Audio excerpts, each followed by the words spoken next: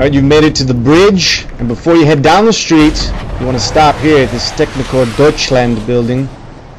Look at that, very big building on the left-hand side. We go in the back here, they're trying to hide it in the darkness, look at that. These dirty mothers, trying to hide it from me. And of course you want to reload, that's really annoying. 40 out of 46.